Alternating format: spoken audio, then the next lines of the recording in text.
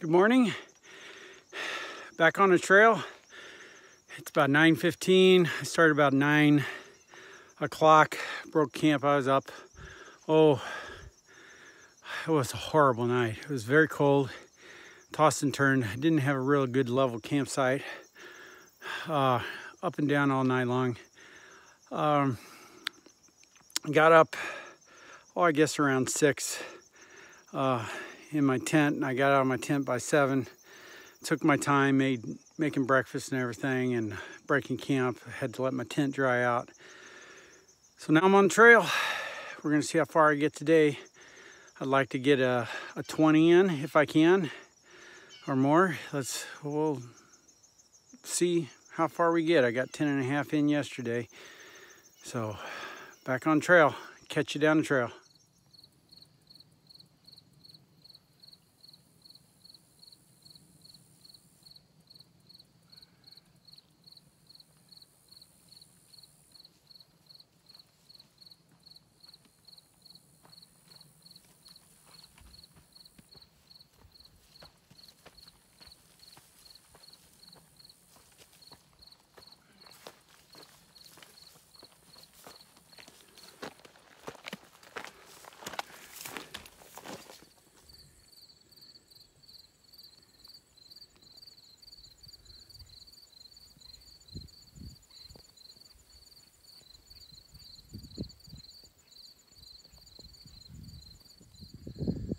So I'm on the top of this unnamed mountain. This is a nice little glade area.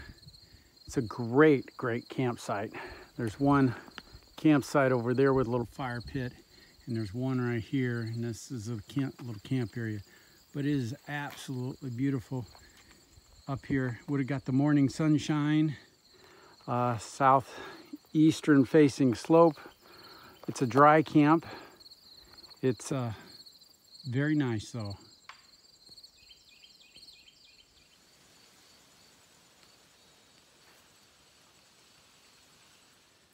What you're seeing there off in the distance is the Taum Sauk Reservoir. That is the reservoir that uh, ruptured, I guess, or the, the side of it broke and millions and millions of gallons washed down through the valley and destroyed it. I'm assuming it's on the other side. I'll be walking through that at some point today, I think. That's the Taum Sauk Reservoir up there.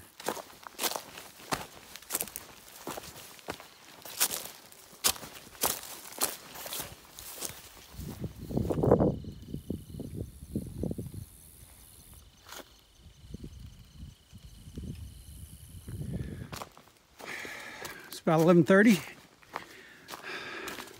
I don't know, going five miles, I guess. I don't know, four or five miles. And uh, this is some of the uh, trail for the day. I was uh, going to talk about yesterday. Uh, I did see a bunch of deer and some turkey. And I did uh, scare a pack of wild boars off. That was pretty cool. I've never scared a bunch of wild boar. Uh, I did kill one when I was a kid hunting, uh, but I didn't see it. I've never seen a pack of them. So that was pretty cool.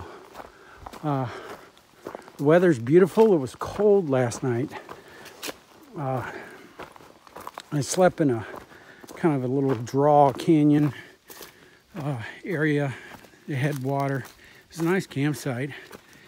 Uh, it was cold though. And uh, my 30 degree quilt did not cut the mustard on that one. So uh, I may have it all kind of not set right. I need to concentrate on that tonight and get that squared away right. But uh, I'm gonna stop for lunch here about 12 somewhere around there. I'd like to like to try to get to uh, Johnson's Shut-ins access to stop for lunch. So we'll see about that. So.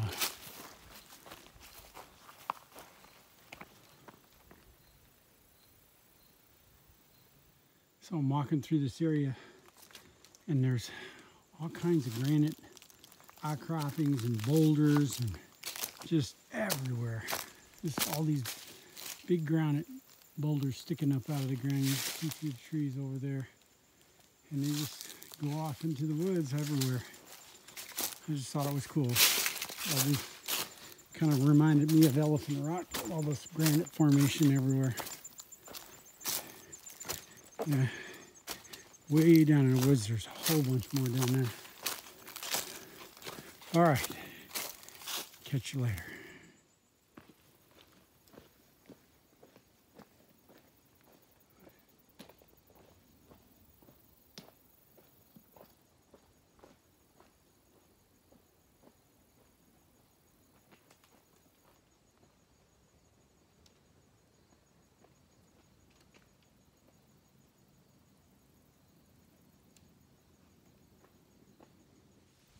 Okay, I'm hit at uh, Scour Creek. Um, this is where the uh, Taum Sauk Reservoir breach was happened, and this was all washed out by the uh, water that came down. So I was hoping to get some water here, but I don't think there's any down there, so I'm to have to go to Black River which is about a mile and a half away. I'm running low. So catch you down the trail. I'm here at the Black River now. This is the Black River crossing. When we get water here, I gotta hike down there. If you can see it through the trees. But that's the Black River. Get water and then hike on. Catch you down the trail.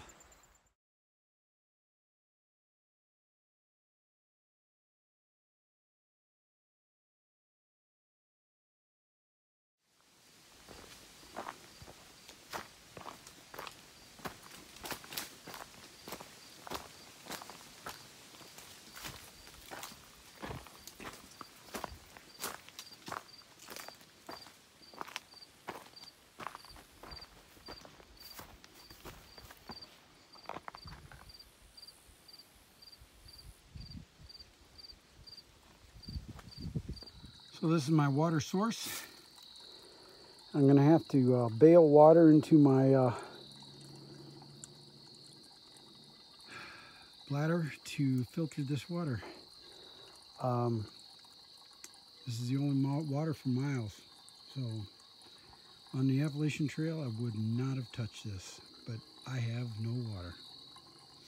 So I gotta get water somewhere.